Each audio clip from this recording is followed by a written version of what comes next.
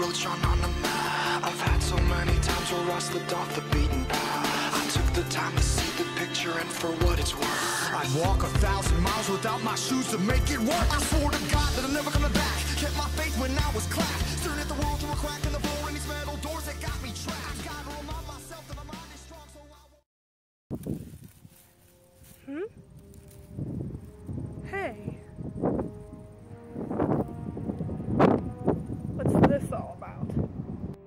Take care of this.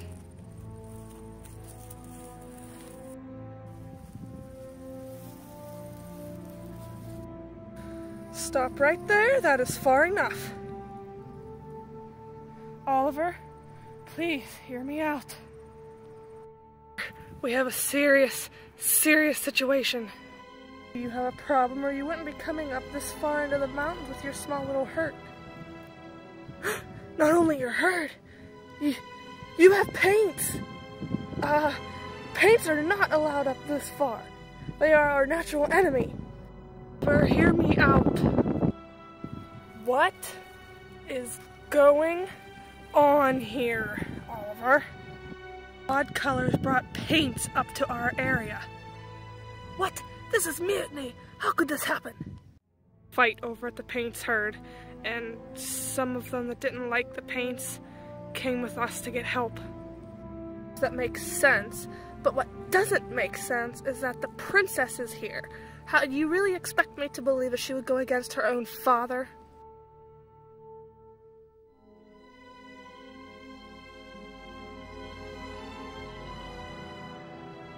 Would you at least please try to talk to them?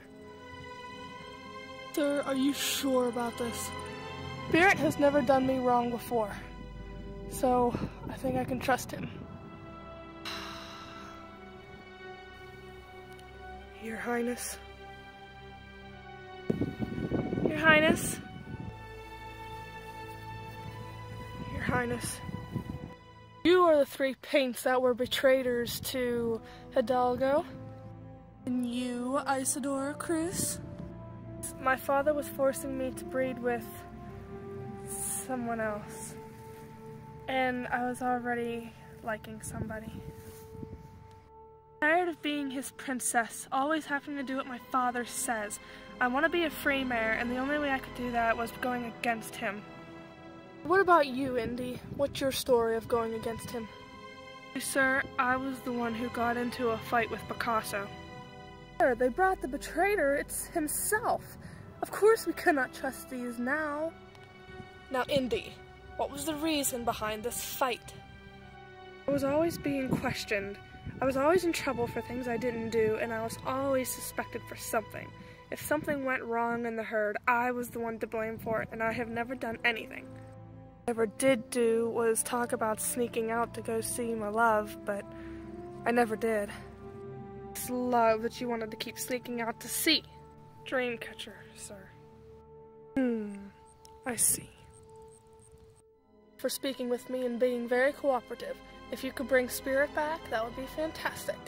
Thank you. He wishes to speak with you again. Thank you, Indy.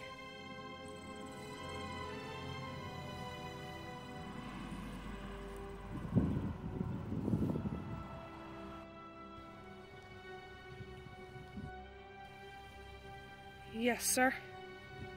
Would you please leave us? This is a matter for leaders only. Yes, Your Highness. What do you want from me exactly? Protection, sir. That's all that we want. From what exactly? In case war was to break out, sir. I will grant you protection if you grant me warriors to fight.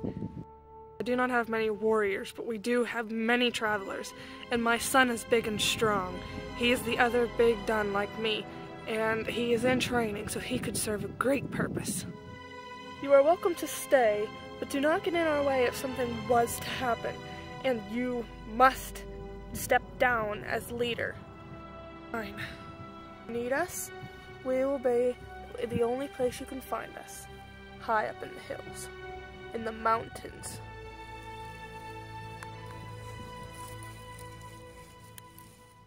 Thank you, sir. Keep a close eye on them, Oliver. look out for any suspicious activity. Yes, sir.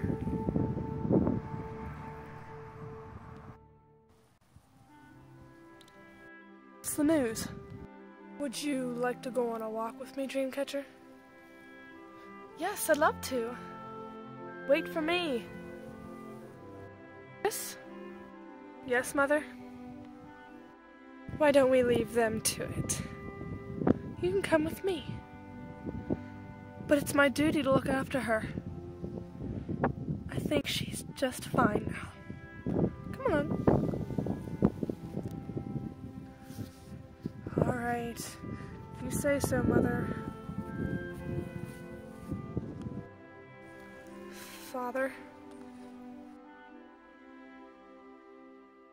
Is there anything I can do? Crawford and Oliver are about getting some war training. I have a feeling that war is gonna break out very soon.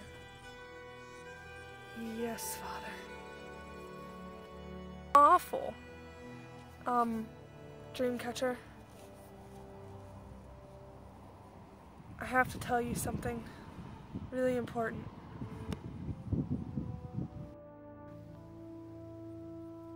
Be trained for war. Well, congratulations, though. That's such an honor to fight for this herd, and he chose you. That's that's amazing. I'll see you later, Dreamcatcher. Okay, bye. Okay, what was that all about? Huh? Oh, yes, Indy? You okay? You took that really weird. I'm fine. Continue with your story. Well, alright then.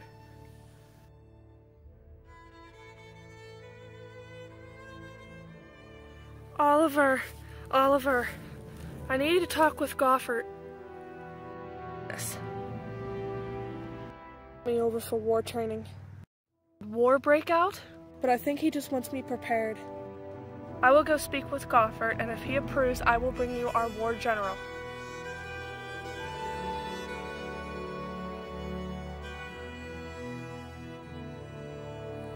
Sire.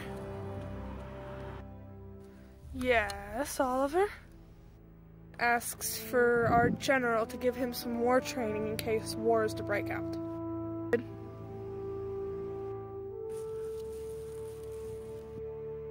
General Moon? Yes, Oliver, what is it? New trainee for you. Is this next victim? Spirit's son. Then I shall show no mercy. I know Spirit's bloodlines and he can handle it. We've got a new fish to fry. You, the general? You are not to speak unless you are given order to or you have given been given free will. Understood? Yes, sir. Good. Now this is my helper, Beauty. Black Beauty. He is my next in command, so you listen to him just as well. Understood? Yes, sir. A herd leader, so I am no sir. You will call me General Moon or General. Going to the most uh, treacherous area of the mountain. So, follow me, and if you fall behind in less than in less than half a length, you will return and run four laps around the entire mountain. Understood? Yes, Sarge. Alright, fine. You can't get the name right? Drop down and give me 20 ups and downs right now. One, two, mountaintop when you have finished. Sergeant Black, come on. Yes, sir. Nine.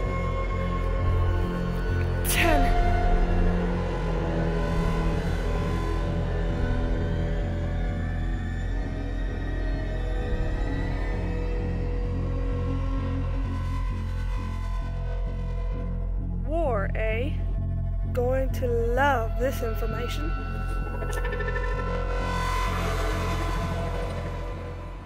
Hidalgo! Hidalgo!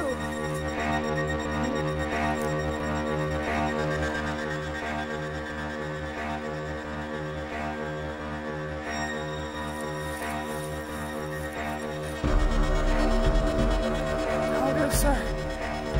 Undercover spy. How's everything doing? Not good, sir. But how's your leg?